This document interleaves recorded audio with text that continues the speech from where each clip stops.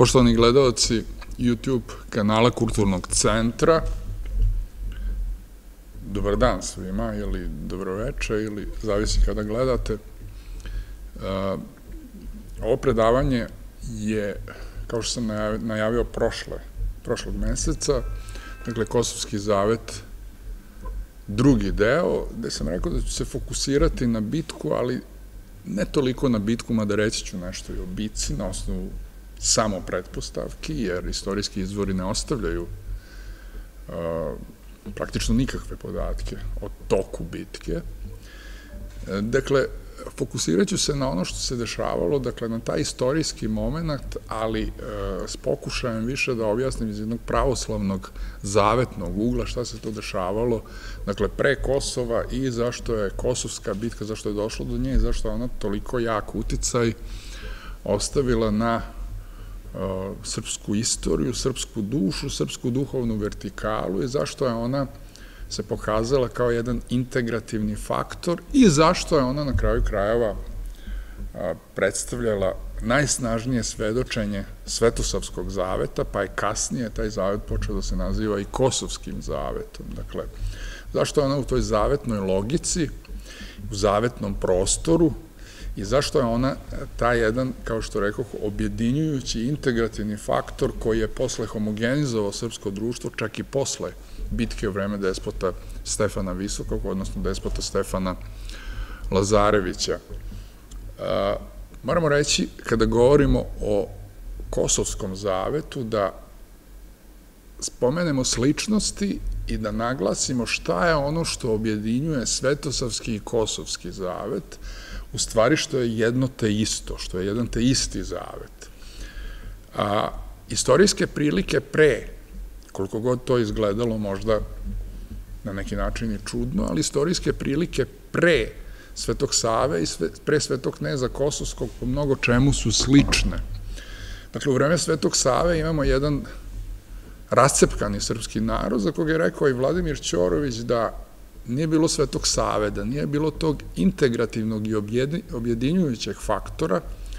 koji je doneo Sveti Sava, da bi se srpske zemlje posle Stefana Nemanje ponovo rasepkale i onda bi čekale novog Stefana Nemanju da se opet ujedine i tako na neki način u nedogled. Šta je ono što je Sveti Sava uradio u tom momentu, a onda privukao i svog oca i kao što vidimo i Žitija privukao i praktično dobar deo ili čitavu vlastelu, pa je omogućilo jedan, to je sve omogućilo, dakle, taj objedinjujući saborni faktor, saborni moment je omogućio jedan kontinuitet trajanja Nemanjićke države, dakle, do praktično kada ona počinje snažno da se širi u vreme kralja Milutina, Stefana Dečanskog, pogotovo do Dušana, kada vidimo određene promene i one su negde uslov i raspada carstva i rascepkanosti države. Dakle, to je promena prioriteta, kako se može kazati. Dakle, dotle je prioritet bio na horizontalnom, svetovnom, državnom. Dakle, prioritet je bio na ovozemaljskom. Od Svetog Save se prioritet srpske elite menja, pre svega Svetim Savom, dakle, i on postaje objedinjujući i postaje faktor koji integriše srpsko društvo. Zašto je to tako? zato što čovek je rođen kao individua. Možemo se vratiti na sam početak stvaranja čoveka. On je stvoren, Adam, naš predak, je stvoren kao ličnost koja je u zajednici sa Bogom, odstupanjem, dakle, od te zajednice, Adam se dezintegrisao, podelio prosto u nas njegove potomke. I mi se rađamo u toj nekoj logici i po tim nekim, ajde da kažemo, prokledstvom, kako kaže sveti apostol Pavle, kroz Adama svi mi sagrešišmo. Možda to nije logika od ovoga sveta, ali je jako bitno da znamo da vraćanjem na logiku objedinjujuću, mi se vraćamo u jedan integrativni prostor, što se vidi u istoriji, u istoriji srpske države. Dakle, čovjek je rođen kao individua, ali on je i rođen i spasenje svoje zaslužuje prevazilaženjem svoje prirode, dakle Adamovske, prevazilaženjem dakle svoje usamljenosti. Znači, prevazilazi u blagodatnom duhu, dakle stvara jednu zajednicu koja se stvara pre svega kroz crkvu i to je ono što to je ona logika i onaj prostor i ona promena prioriteta koju čini Sveti Sava. Kao što rekao, to čini i Vlastela, ali to čini i sam Stefan Nemanja, koji vidljivo opredeljuje se kao i Sveti knez Lazar u drugčijim istorijskim okolnostima i u, u, u drugčijoj istorijskoj situaciji i možda na drugi način, ali se ono predeljuje za carstvo nebesko, odlazeći, dakle, za carstvo duhovno, za prioritet duhovnog nad zemaljskim, prioritet duhovnog nad telesnim, ono uvek što ističem, ne negiranje telesnog, nego samo prioritet duhovnog nad telesnim. Dakle, i on se, dakle, povinuje toj logici i vidljivo, dakle, odlazeći u manastir, on svedoči da se privolio logici svoga sina i da je ušao u zavetni prostor, dakle, prostor novog zaveta koja je, je kako kaže, nova tvar, nova stvar, koja je je novo vreme, sve staro prođe, kao što, rekoše,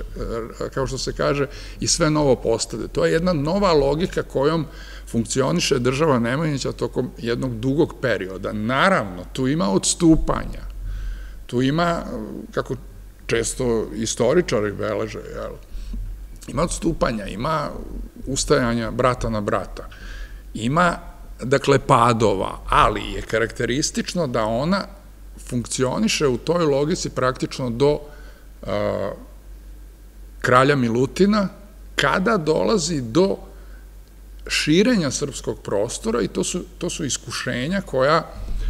negde ljudska priroda često i ne može, ne može da izdrži i često se povinuje tom jednom horizontalnom pogledu i, kako kaže vladika Nikolaj Velikašima, je kroz srce, srce im je bilo obuzeto zemljom, dakle, srce im je bilo obuzeto onim zemaljskim, srce im je bilo napravilo otklon od te jedne svetosavske logike i prirodno je da je u to, toj nekoj situaciji kako se razvijala ta sila dezintegracije, to je sila greha, ona je sila dezintegracije, dakle, prirodno da je u toj jednoj logici velikaši već u vreme Milutina, odnosno čitava srpska elita, postaje usmerena ka nekim drugim prioritetima. Dakle, sve manje se osjeća onaj duh svetosavski, duh one blagodatne zajednice, kada crkva pre svega, dakle, od običajno jezičke zajednice, etničke zajednice, rascepkani srpskih plemena, dakle, pravi jedan organizam, jednu zajednicu nad kojoj pre svega stoji crkva i ona je taj integrišući faktor. Dakle, blagodatni duh zajednice prevazilazi, dakle, individualne sklonosti, prevazilazi ono što čovek ono što je čovjek po prirodi i kakav se rađa i stvara jednu moćnu zajednicu, a to se onda sve reflektuje, dakle, i na političke prilike, na državne prilike i na sve druge prilike i onda to stvara uslov za napredak jedne zajednice. I kao što rekao, to se vidi na Nemanjičkoj državi koja napreduje, dakle, čitavih nekih preko 100 godina, skoro 150 godina, ali se druge tendencije osjećaju već u vreme kralja Milutina. Stefan Dečanski, sveti kralj, je u toj logici potpuno i upravo tu dolazi do jednog konflikta između te vlastele koja je zemlja prirasla, kako kaže vladika Nikolaj, kroz srce, koja sada hoće horizontalno da se širi, koja, dakle, gleda svoj uspeh i svoju ispunjenje svojih ambicija kroz jedno zemaljsko širenje i kroz, dakle, stvaranje sve snažnije države, a to će se na kraju krajeva, dakle, reflektovati kasnije kroz stvaranje i oblasnih gospodara, da će svako praktično pokušati na svom prostoru da postane prvi. Neće osjećati više zajednicu, to, to je ono najbitnije, zato Njegoši govori velikaši proklete im duše, velikaši grdne kukavice postadoše roda izdajice. Dakle, U tom kontekstu je vlastela i izvikala, ajde tako da kažemo, cara Dušana, jer on kao mlad je i bio pogodan da se ostvare ambicije vlastele koja je, dakle, sve više želela zemaljske časti, sve više želela proširenje teritorija, sve više želela materijalnih bogatstva, sve više, pogotovo gledajući se na Vizantiju, odnosno carstvo Romeja, koje je bilo bogato kroz svoju čitavu istoriju, a Srbija naslonjena na taj vizantijski civilizacijski krug, generalno naslonjena na Vizantiju, je dakle, ugledajući se na onaj drugi deo, e, ne na onaj duhovni deo vizantijske istorije, što je radio Sveti Sava, naravno filtrirajući to i stvarajući, prilagođavajući pravoslavlje e, srpskom nacionalnom duhu, dakle, e, više ugledajući se, dakle, na taj materijalni moment, ona je sve više odstupala od zavetnog duha i, dakle, možemo reći da i kod, kod te vlastele koju je onda car Dušan poveo, imamo, dakle, promenu prioriteta u odnosu na ono što je Sveti Sava radi. Dakle, vraćanje na ono pređašnje e, stanje, na neki način, samo sada sa jednom moćnijom državom koja je napredovala e, nekih vek i po i pod carem Dušanom će zaista ona da se proširi, da, e, dakle, sve više potiskija Vizantiju, da zauzme prostor grčkih zemalja i to će dovesti u konflikt, naravno, sa, sa Romejima. Pod carem Dušanom će, dakle, ta vlastela dobiti ono što su bile njene ambicije. Biće ispunjene njene ambicije, ali često, ako mislimo da je taj prostor integrisan u vreme cara Dušana, on s jedne strane to jeste. Možemo čak reći u tom trenutku da car Dušan nije pristao na tako nešto, da nije krenuo u tom pravcu, možda bi vlastela nekog drugog podržala. Dakle, on jeste integrisan u jednom državnom obliku, stvoreno je carstvo kako, kako nikada nije stvoreno u istoriji i u tom smislu Dušan je nazvan silnim, jer je zaista na neki način mogao da napravi jedan balans, balans popuštanja vlasteli, ali s druge strane i držanja čvrsto te vlastele u njegovoj kontroli, s tim da moramo naglasiti da je taj proces dezintegracije i jačanja vlastele se osetio čak i u vremenima, dakle, kada je Dušan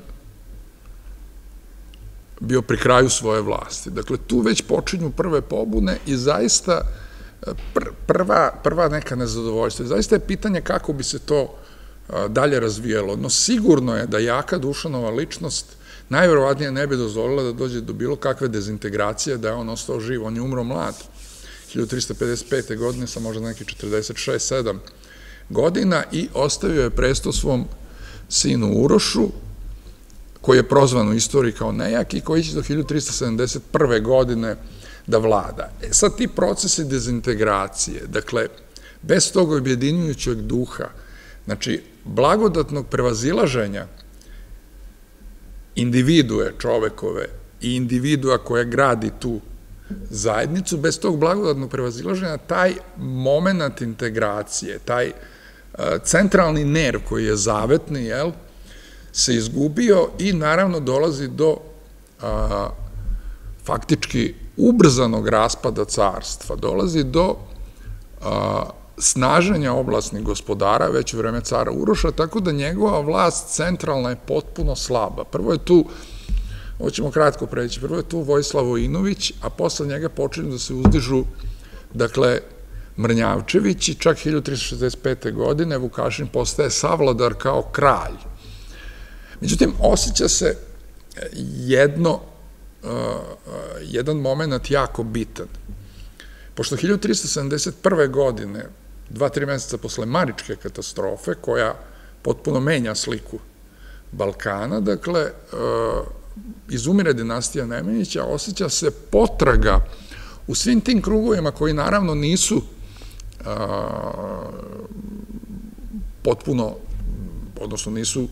uopšte otklonjeni, ali oni gledaju prosto tu dezintegraciju i osjeća se traženje, pogotovo u narodu, jedne ličnosti koja će krenuti tim putem Nemanjića, odnosno Svetog Save i Svetog Simeona i krenuti u pravcu integracije srpskog, srpskog prostora u svoj toj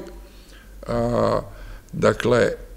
gramzivosti i pokušaju oblasnih gospodara da zauzmu što veći deo teritorije, pritom ne mareći za celinu. Ta ličnost je nađena u knezu Lazaru. Dakle, knez Lazar je taj koji je počeo da radi na tome i otuda podrška, dakle, svih onih snaga u srpskom društvu koje su radile, radile na tome i koji su priželjkivale taj jedan duh nemanjićki i to jedno prevazilaženje e, etničkog, oblasnog, e, čisto državnog i tako dalje. Jer ako se to prevaziđe, kao što sam rekao, onda će i ovo drugo sve moći, moći da se izgradi. Dakle, imamo, kao što sam rekao, potpuno dezintegraciju, kralj Vukašin postaje savladar, ali, kao što znamo, ono što postaje glavna opasnost, to su Turci i Osmanlije, koji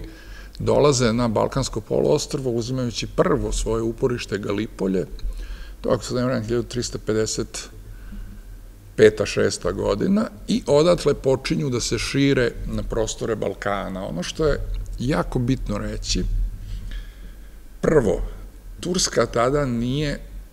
centralizovana država, dakle, država Turaka Osmanlija, ako se i može nazvati državom, ona nije centralizovana i nju će polako centralizovati, pogotovo do 80. godina kada praktično na scenu na Balkanu stupi Murat, sultan, on će pokušati da integriše, čak će taj posao nastaviti i Bajazit. Ona će tek u 15. veku, dakle, kad pokori Balkan, tek postati jedna jaka centralizovana država. Ona je sada više jedna federacija raznih emira i raznih vojskovođa koji su u stanju da mobilišu Turke koji usput, budi rečeno, Turci Osmanlije, vrše kolonizaciju prostora na koji staju. Tako da oni vrše kolonizaciju Evrope i oni vrlo brzo zbog demografskog faktora koji je izuzetno jak kod njih, dakle, oni postaju veoma brojni na Balkanskom poluostrvu i pogotovo posle Maričke bitke, a Marička bitka je upravo zbog toga izbila, jer su Vukašin i Uglješa Mrnjavčević pokušali da otklone opasnost od Turaka, jer Turci tada već borave nekih 15-16 godina na Balkanu, dakle, da ih izbace sa Balkana. Međutim, pokazat će se da su njihove snage izuzetno male, da su pocenili protivnika i kako svedoči starac Isaija, oni su bici na Marici potpuno potučeni, čak su možda i pocenili Turke, Dakle, potpuno su potučeni i ta bitka je potpuno promenila sada jednu situaciju na Balkanu. Od Turaka koje nije niko shvatao baš kao opasnost, ogromno, shvatili su kao opasnost, čak i car Dušan i u tome može da se vidi ovaj, jedno opravdanje uh, njegovog širenja i pokušaja njegovog da, isko, da iskorištivši, dakle, ambicije vlastele, stvori veliku državu, zameni Vizantijsko carstvo, mada je to prelaženje svetosavskog načina poimanja države, dakle, ali ipak e, sa tom namerom da stvori veliko carstvo, zameni posrnulo Vizantijsko carstvo, dakle, da time spreči opas, e, i utukne opasnost od prodora Turaka. E, U tome se vidi opravdanje za sve, sve ove delatnosti Dušanove, ima tu svakako određene logike, ima svakako mnogo logike, jer carstvo Romeja, Vizantijsko carstvo je zaista bilo slabo i rastrzano unutrašnjim razmjenicama i unutrašnjim trvenjima, da nije moglo da bude predvodnik jednog opšteg otpora Turcima. No,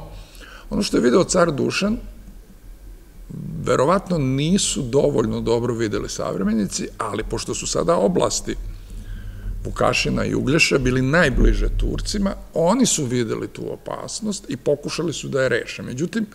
kao što rekoh, oni su doživjeli stravičan poraz, a taj poraz je konačno utvrdio Turke u Evropi, Osmanlije,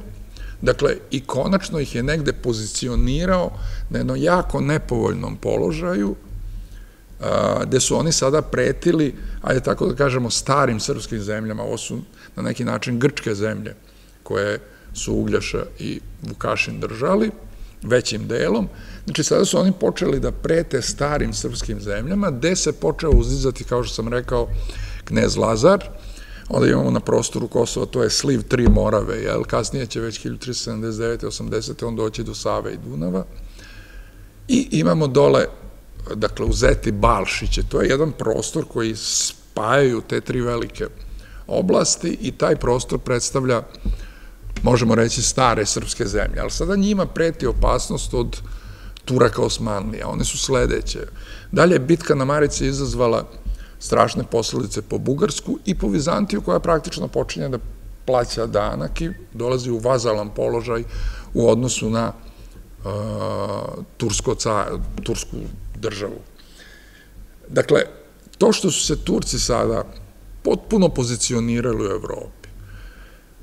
uslovilo je dalje naseljavanje, ogromnu kolonizaciju. Oni će to praktikovati i posle, jel? Samo što je ovo sad početak praktično evropskog kontinenta i ovde dolazi zaista do masovne kolonizacije i to uslovljava. Dakle, tu još nema murata praktično, to su još sve lokalni, lokalne vojskovođe koje su u jednom labavom savezu, dakle, sa sultanom i sa osmanlijskom državom. Ali to će usloviti sada pljačkaške pohode. Fragmentacija balkanskih država, ne samo Srbije, će im olakšati taj posao, a ti pljačkaški pohodi će konstantno uznemiravati, dakle, sve oblasne gospodare i jačina i silina tih turskih upada i ta jedna homogenost koja je e, se očitovala, naravno kasnije još više, ali tada u jednom od mnogih tih turskih plemena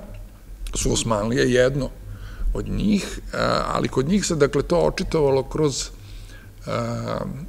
jedno slavljenje i jedno fokusiranje na islam i borbu protiv, protiv nevernika. Naravno, to je uslovilo i za to je na neki način nagrada bila i pljačkanje balkanskih država i otuda će mnogi da krenu, jer to je na neki način i unosan posao upadati i pljačkati, dakle, balkanske države i zato starac Isaija i govori neki drugi izvori da je to zaista vreme izuzetno teško, kada Turci upadaju i, naravno, parafraziram, ne ostavljaju ništa praktično što mogu i da opljačkaju, da ubiju i tako dalje. I to je jedan period, kao što rekoh, jako nepovoljan, ali u to vreme, dakle, počinje uzdizanje kneza, kneza Lazara. Knez Lazar, kada gledamo ovako, se ne razlikuje od drugih velikaša. I on pokušava da proširi svoju teritoriju, kao što to pokušava Vuk Branković, kao što to pokušava Nikola Altomanović. Primetna je dobra saradnja između kneza Lazara, Vuka Brankovića, pa i Balšića, bez određenih, dakle, trzavica, šta više sa Vukom Brankovićem i svedoče izvori da praktično oni rade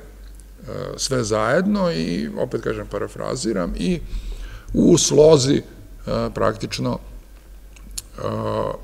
obavljaju, obavljaju sve poslove na toj integraciji tih prostora, jer oni su sada neposredno ugroženi od Turaka. 1373. godine će Nikola Altomanović, koji će početi da vodi jednu sveobuhvatnu politiku i suviše ambicioznu, sa blagoslovom Lajoša, ugarskog kralja, biti suzbijen od strane kneza Lazara i bosanskog kralja Tvrtka. Dakle, ovo je e, jako bitno reći da su oni u odnosu vazalstva, sad koliko, to je sad veliko pitanje, ali oni su na neki način uz odobrenje, dakle, ugarskog kralja, kojem isto Nikola Altomanović smeta, oni su ga skršili 1373. godine. To je omogućeno na neki način tvrtku da uzme prostor Mileševa, da je bio gde su bili mošti Svetog Save i da se proglase 1377. godine kraljem. S druge strane, Lazar je proširio svoju oblast, uzeo rudnik i time stvorio mogućnost za dakle, bogatstvo svoje oblasti, da se materijalno ojača, da time opremi vojsku i time organizuje nešto što će na neki način pretendovati da bude naslednik nemanjićke logike, ove što sam govorio na početku, jer knez Lazar ide ka tom cilju. To će se videti po tome što će i crkva početi da ga podržava. Ono što sam rekao malo pre, da knez Lazar, kada se gleda njegovu uspon, on se ne razlikuje od drugih velikaša, s polja gledano, ali moramo znati ovako, da bi delo procenili da li je dobro ili loše. Najčešće je najbitniji faktor motiv zašto nešto radimo. Dakle, kod kneza Lazara je motiv, a to će se videti, jer kaže konac delo krasi, to će se videti 1389. godine, kada on praktično svojim životom i sva njegova vojska posvedoče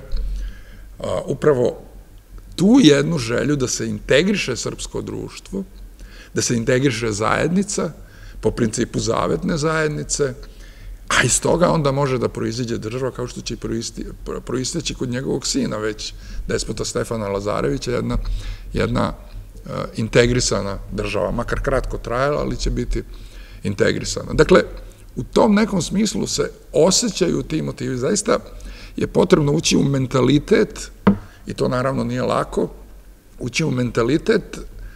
ondašnjeg društva, da vidimo zašto je crkva podržala e, kneza Lazara, ali to se primećuje odmah i zašto, recimo, crkva na inicijativu,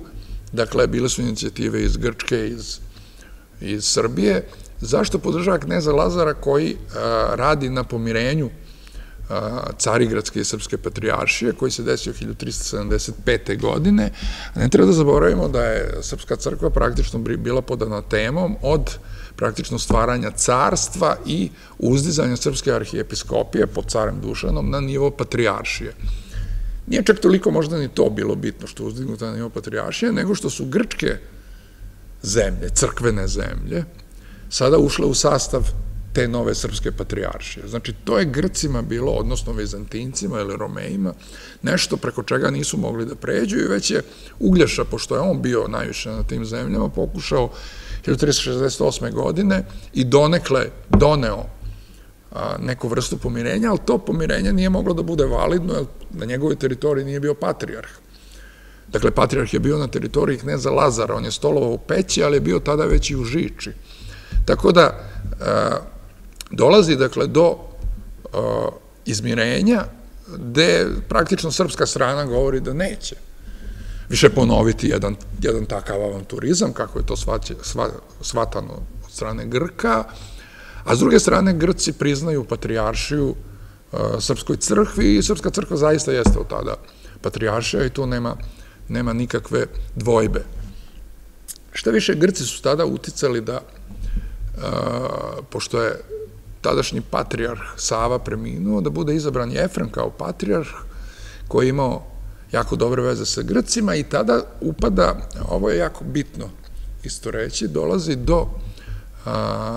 dolaska Isihasta iz Bugarske i Grčke, dakle prvi Grigorije Sinajta i dolazi dakle do jednog produbljivanja duhovnosti u samoj srpskoj sredini, dakle Isihasti su bili poznati po tome, Isihija znači, znači tihovanje, oni su bili poznati po tome što su govorili da u svojim kontemplativnom momentu molitve, jel, sagledavaju tavorsku svetlost, odnosno božansku energiju. Učenje Isihasta je bilo da se Bog ne otkriva, ostaje zagonetan u svojoj suštini i da ga nije moguće uopšte shvatiti u njegovoj suštini, ali da se otkriva u svojim energijama. E sad, tu svetlost oni su rekli da je vidljivo, prosto mogu da, mogu, mogu da vide. A, začetnik isihazma koji je postojao i pre, ali uobličio je to učenje Grigorije Palama, sveti Grigorije Palama, i ono što je jako bitno, pošto je bilo otpora na racionalističkom zapadu, poznate su e, diskusije, polemike sa Varlamom Kalambrijskim sa zapada, racionalistički zapad to prosto nije mogao da shvati. Dakle, ta jedan civilizacijski moment e, izlaženja, ovo što sam rekao, i svoje prirode, što spasava čoveka stvarajući zajednicu, jer čovek bez zajednice ne može, ne može da se spase, i to upravo one vanvremenske, nadzemaljske zajednice. Dakle, bitno je da je osetila se potreba i to je na Saboru u Carigradu 1354. godine zvanično to učenje usvojeno. E sad, to učenje će u Srbiji, e, dakle, i ta jedan e, moment, kažu da je sveti despot Stefan bio isihasta, jel? Dakle, taj jedan moment će produbiti pravoslavnu duhovnost i kao da će spremiti na neki način čitav narod i čitav pravoslavni svet za jedno dugovekovno ropstvo, jer ulazak u jedne dublje slojeve bića i jedna dublja kontemplacija kroz isihiju, kao što rekao, tišinu, sagledavanje nestvorene božanske energije, je nešto što je u svakom slučaju čuvalo pečat jednog pravoslavnog doživljaja, doživljaja sveta koji je karakterističan posle, nije mogao da se uguši čak i u 400-500 godina robovanja po Turcima. Naravno, to je sad jedan drugi period, ali tu će Kosovski zavet odigrati, odigrati ulogu jako bitnu. Dakle, vidimo da knez Lazar ulazi u taj jedan integrativni hod sa motivima, kao što se vidi zbog konca, kraja njegovog, sa motivima čistim ili najčistijim. On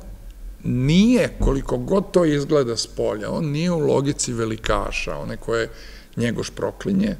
i to je, znači, nije u horizontalnoj logici ovo zemaljskog širenja, ambicija, stvaranja materijalnih uh, uspona i tako dalje, i to je ono zašto srpsko društvo, onaj najzdraviji deo počinje da podržava, da podržava kneza Lazara. 80. godina dolazi do snažnijeg pritiska Turaka, dakle, dolazi do prvih bitaka, dolazi do pohoda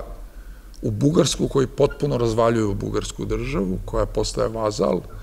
Vizantija je već vazal,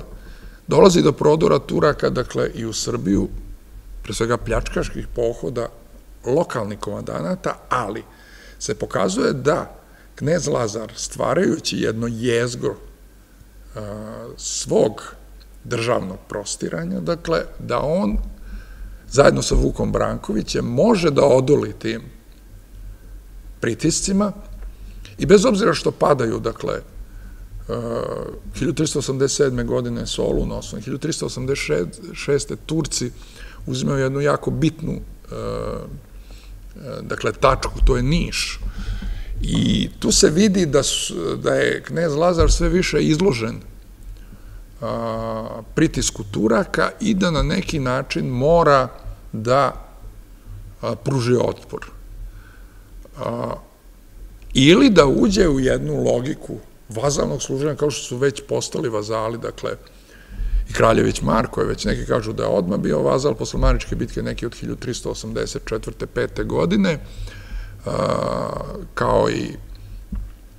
dakle, Dejanović i kao i već mnogi srpski velikaši, pogotovo na prostorima grčkih zemalja, koji su postali vazali. Znači, Lazar može da preuzme tu logiku, dakle, i da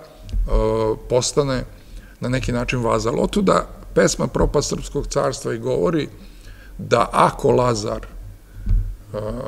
na neki način se privoli carstvu zemaljskom, čak će dobiti i pobedu, ali može da se tumači na neki način da on može sačuvati krunu svakako, ali da uđe u jedan model i u jedan način funkcionisanja kako su već Turci Osmanlije uspostavili sa drugim oblasnim gospodarima koji su već bili pokoreni. Međutim, da bi se to prenebregnulo, da bi se na neki način sačuvao zavetni moment, da bi se sačuvala ta trasa puta ka integraciji, da bi se posvedočilo da je zajednica koja je iznad individualnosti, iznad individua, da je zajednica koja objedinjuje saborna, da je ona iznad svega toga, prosto u jednom trenutku srpsko društvo je došlo zbog te jedne logike u kojoj je upalo, dakle, logike oblasnih gospodara, logike fragmentacije, logike parcijalnih e, uspeha i ostvarenja interesa, da bi se ta integracija posvedočila i da bi se put ka blagodatnoj zajednici posvedočio, bilo je potrebno stati na crtu i položiti ono što je najveće što čovek ima, I ne samo Lazar, i ne samo velikaši koji su njega pratili, nego čitav narod, kako kaže vladika Nikolaj, čitav narod je osetio da se dele venci mučenički na Kosovu. I upravo zato, pošto je taj, taj, ta logika greha, kao što rekoh, podvajanja, uzela toliko maha, bio je potreban, opet kaže vladika Nikola, jedan veliki zemljotres u kojem će se svedočiti da smo mi kao narod upravo za ono što je Sveti Sava još utvrdio i ono gde nas je pozvao Sveti, Savet, Sveti, Sveti Sava u jednu novozavetnu logiku, jednu logiku sabiranja, pa makar posle bilo, bilo šta bilo. Ono što je bitno reći, hrišćanstvo je donelo nešto novo, e, a to je ono što često se prigovara, recimo, Ivan Karamazovu, braće Karamazovima, on odbija, on kad čak vraća kartu u priču, priči sa Aljošom Karamazovom, vraća kartu za carstvo nebesko zbog stradanja, dakle, zbog žrtve, zbog nepravednih stradanja, on kaže njemu i ne treba taj raj i ta harmonija posle svega toga. Jel? Pa onda navode određene primere u razgovori sa Aljošom, to je sad već druga tema, ali upravo to je ono što hrišćanstvo donosi novo. Merilo ljubavi, merilo empatije je žrtva. Najsnažnija žrtva, najsnažnija ljubav za zajednicu. Onaj koji da svoj život, on će živeti. Znači, ako hoćete da sačuvate dušu svoju, izgubit ćete svoj život. Ako ga žrtvujete, kaže Hristos, mene radi i carstva nebeskog, dobit ćete ga. Opet, možda nisam tačno rekao, ali to je, to je suština, naći ćete ga, jel? Dakle, u toj nekoj logici, u tom nekom smislu, u tom nekom prostoru, kod Lazara se osjeća i u tome jeste suština promena prioriteta. Dakle, u jednoj istoriji našoj, da je kosovski boj pogotovo, vrednostni sud, merilo tog vrednostnog suda je život. Nastao je takav trenutak, kao što rekao Vladika Nikolaj, kad se dele mučenički venci, dakle, da je život to merilo koliko je došlo do promene prioriteta i koliko oni idu putem Hrista, odnosno putem Svetog Save, koji ih je poveo putem Hrista, dakle, koliko su oni zaista promenili prioritete. Bilo je potrebno neko, ta, neko takvo svedočanstvo da bi se razvejala, dakle, a, razarajuća sila greha koja je zahvatila srpsku vlastelu i počela negde i da nagriza na narod Tako nešto i tako nešto će svetliti vekovima Srbima u turskom rovstvu, ali će uticati i na integraciju koja će biti izvršena u vreme despota Stefana Lazarevića. O Kosovskoj bici ja ću samo kratko reći. Naši istoričari, ozbiljni Sima Ćirković i drugi, kažu da je možda najbolje za Kosovsku bitku reći, tad sigurno nećete pogrešiti, da su poginula dva vladara i da se tog bitke ne zna. Može se još reći, e, kao što rekao, do Kosovske bitke dolazi zato što je taj pritisak na Srbiju bio snažan i zato što je Srbija se pokazala, odnosno Srbija, to su Lazareva zemlja i zemlja Vuka Brankovića, su se pokazali kao faktori koji su dobro integrisani i pljačkaški pohodi neki manji pohodi im ne mogu nauditi. Otuda dolazi i Murat sada, dakle, prvi put ono što je specifikum za Kosovsku bitku,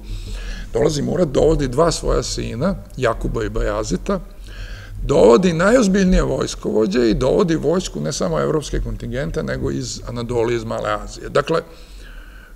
vojskovođe je Vrenos Bega i Saridžu i još neke druge ozbiljne vojskovođe, da, dakle, možemo reći kontingenti najozbiljniji.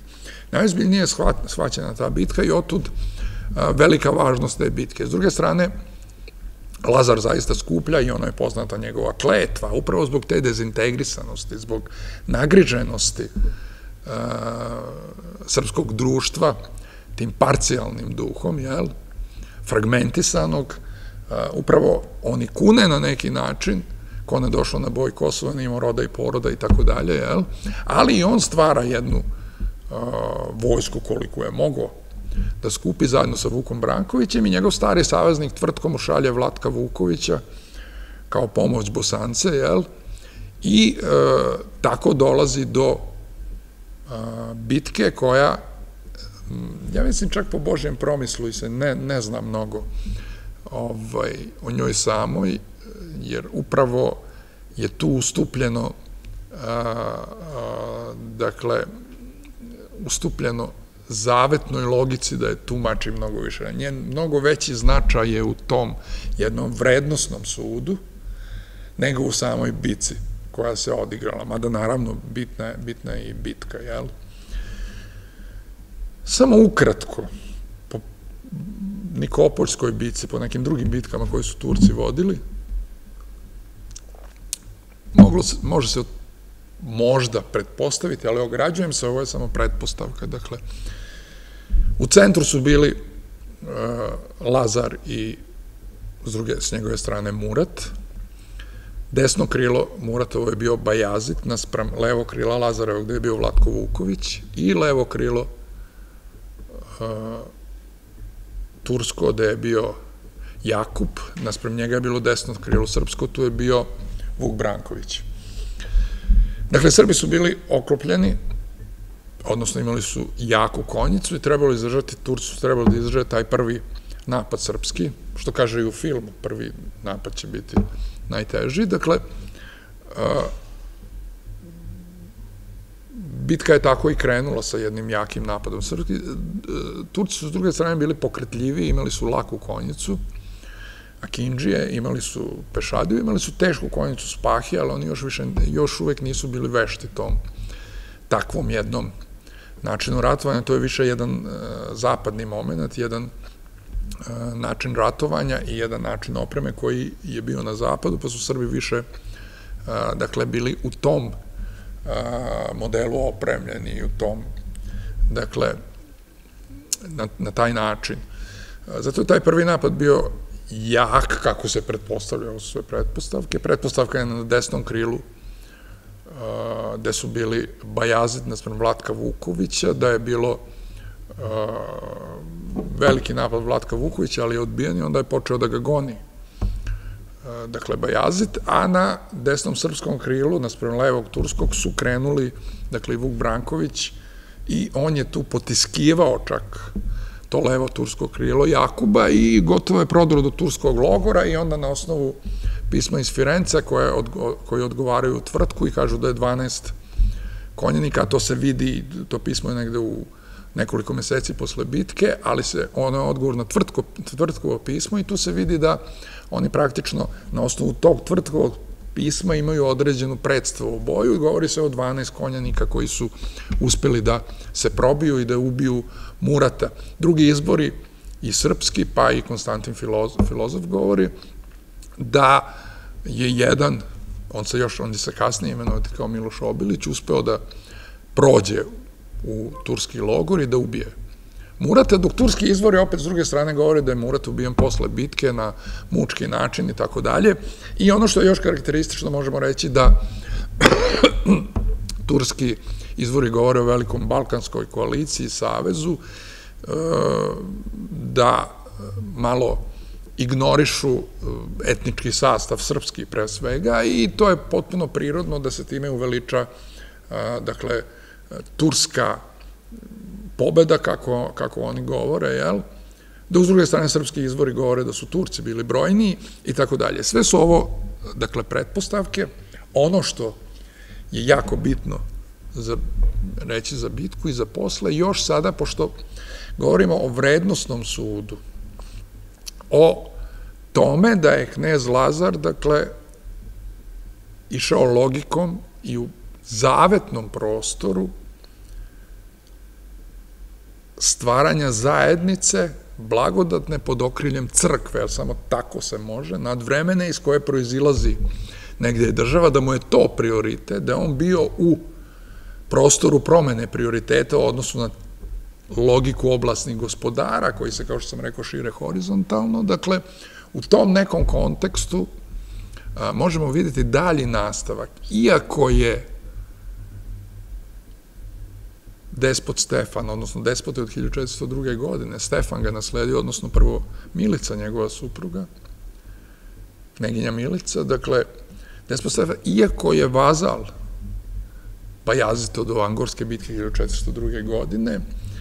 taj integrativni proces nastavlja dakle, despot Stefan Lazarević. On je prvo suzbio velikaše, a onda je u, zamršanim borbama, da su Brankovići bili protiv njega, čak u jednom trenutku i njegov rođeni brat Kum, posle čega je on napisao i pesmu Slovoljublje, izuzetnu pesmu koja je izuzetne dubine, zaista e, dira i e, kosne se najdubljih slojeva ljudskog bića, da mi vidimo jednu najozbiljniju žalost njegovu zbog tog sukoba, gde on ipak na kraju, izrazavajući veru u gospoda, govori da je ljubav carica svih vrlina i mi vidimo tu jednu buktinju ljubavi kod njega koja se osjeća prema i svom posrnulom bratu i tako dalje. Ali, dakle, suzbiši to sve, on stvara jednu opet zajednicu koja će funkcionisati do njegove smrti. Čak posle smrti Balše III. bit će mu pripojena i oblast Balšića, oblast Zete i ta oblast Vuka Brankovića i oblasti koje je držao knez Lazar. Dakle, bit će stvorena opet jedna integrisana država, što je nastavak praktično onoga što je njegov otac radio. I što je potvrda da, jer i despot Stefan je svetac i on je potpuno na putu i potpuno je u prostoru zavetnom e, svoga oca. Što je potvrda da u toj jednoj logici, kada to postaje ispunjeno, to je iznad nacionalnog, iznad običajnog, jezičkog, etničkog jedinstva, iznad svega toga, kako bi rekli, ako je Bog na prvom mestu, onda sve dođe na svoje mesto, onda i država na svom mestu, onda e, je i vlastela na svom mestu, onda sve dolazi negde na svoje mesto. Imamo još jedan moment, Đurać Branković, koji često se to ne predstavlja tako, ali Đurać Branković dolazeći 1412. kod despota Stefana prihvata logiku sada Lazarevića, koji su duhovno potpuno postali naslednici Nemanjića. I to prihvata gro srpskog društva. Naravno, istorijske prilike su bile takve da su Osmanlije bile jake i oni će pogotovo pod Đurđem Brankovićem nastaviti svoj prodor i vremenom će praktično osvojiti celu Srbiju i velike delove Ugarske i tako dalje, opsedaće Beč, ali ono što je jako bitno je da je taj princip negde pobedio i pokazao nadmoć, dakle, kao što se govori u kultu e, kneza Lazara, koji je pre svega sastavio Danilo, a kasnije su praktično učestvovali u stvaranju kulta Ravaničanin sa prološkim žitijem svetog kneza Lazara, pa e, monahinja Efimija, pa i sam knez Lazar sa svojim zapisom na mramornom subu i tako dalje. Dakle, tu se vidi nadmoć nebeskog nad zemaljskim, nadmoć duhovnog nad svetovnim, pri čemu opet naglašavam, svetovno se ne negira, nego baš u toj jednoj zavetnoj logici, u toj jednoj promeni prioriteta da je fokus na duhovnom, tek dolazi do integracije i ovoga što je niže od toga, dakle i državnog i etničkog i običajnog i nacionalnog i tako dalje. I to je primjer za čitavu čitavu srpsku istoriju, kad god nije bilo tog jedinstva, srpska država se fragmentirala, srpske zemlje, srpski prostor i mi prosto u toj jednoj logici, za razliku od Zapada, Zapad na drugim osnovama pravi nacije i kasnije će ih napraviti, mi na toj osnovi pravimo, pravimo naciju i pravimo jedinstvo naše. Još za kraj samo da kažem par reči, pošto je, kao što rekoh, kosovski boj, kao kosovski zavet, je li jedna vrednostna kategorija. Ono što se dešava posle Kosova takođe nam može reći o načinu razmišljanja pojedinih velikaša. Pre svega hoću sad da kažem par reči o Vuku Brankoviću,